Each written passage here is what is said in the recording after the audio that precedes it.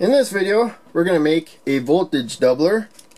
It's mainly with this capacitor, but this capacitor catches the voltage and stores it for a load. So if you saw my last video, we put the load directly to that capacitor and we had a bunch of pulses basically. So in any case, we'll double the uh, voltage with the capacitor. We're going to look at how to do that with this circuit. So as you can see here, we have a couple diodes in series. These are rectifier diodes. So they control the uh, current direction. Oh, by the way, we're going to have, we got the VCC, the supply rail. We'll have two times VCC out minus a couple diode drops. So it'll probably be about a volt and a half less than the supply voltage. And here's the circuitry. It's uh, really simple. So we should use a digital switch that goes from rail to rail. I do have a 555 timer that goes rail to rail. It costs a lot more than the regular ones, but in this video I'm just going to use a jumper to connect directly to the rails because it's just for demonstrations. So you can see here the anode of that diode connects to VCC and then the cathode connects to the anode there and then the uh, cathode of that one heads to ground and then ground through the load but uh, we won't uh, encounter that. Well we will later on. I will add a load. So it's kind of hard to see these with the light. Hopefully you can see that there's a gray stripe right there and a gray stripe right there. They don't show up on camera terribly well uh, the gray stripe. So there we go. Gray stripes to the right for both of these. This comes to the positive rail. So that current when you think of conventional current can move along that way uh, almost freely there's a little bit of a diode drop now the first capacitor the positive side goes to where those two diodes connect. So we're going to use a 470 microfarad. Value does not matter at all. The larger the value though, the more energy it will store.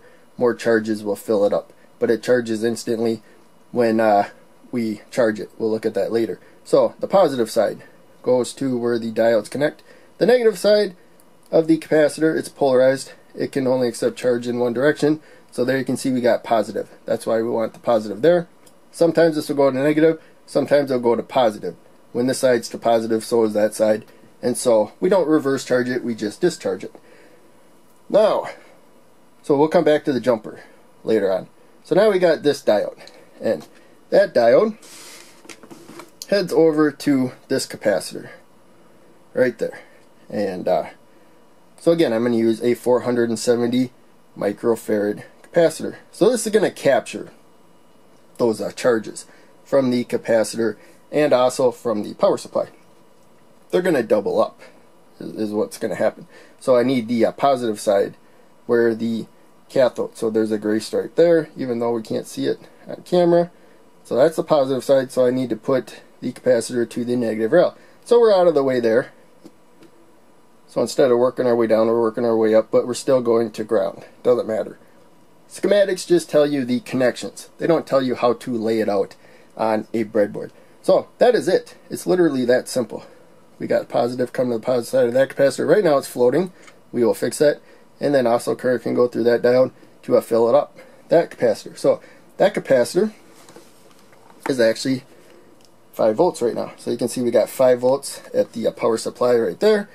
And uh, no currents flowing right now. Let's get that light off of there.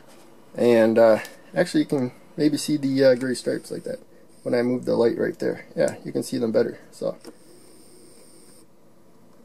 we have that. Now, we're going to take the uh, green jumper and put that to the negative side of this capacitor. So, I have the oscilloscope, the alligator clips come from that cable. The black one's already to ground. The red one here, we have just on a blank rail. So we will look at the uh, voltage of this capacitor right now. And then you can see each square is 1 volt. So one, two, three, four, and about a diode drop below uh, 5. Because we're dealing with a 5 volt power supply. Now, I'm going to uh, charge this capacitor if it isn't already. And then we actually put it in series with the power supply. And there you can see the voltage went up and the voltage went up again each time I did it because there's no load. This is going to trickle a little current through it over time. The voltage will go down. I'm going to change this to 2 volts per division, but you can see the voltage went up. So we got a 5 volt power supply, now we got 2, 4, 6, 8 volts. Where this capacitor is, so we consider this our output once we attach a load. And so I will do this again. We'll see where we top off.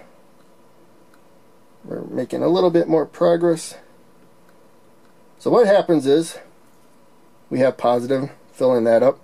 When I charge this up, this side becomes more positive, that side becomes more negative, which I'm doing right now.